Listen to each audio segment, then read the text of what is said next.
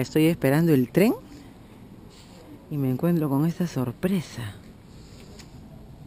A ver. Wow. Dos chocolatitos. Bueno, somos dos, así que uno para cada uno. ¿Qué te parece? ¿Ah? Me lo dejaron de regalito. Oh, fíjense.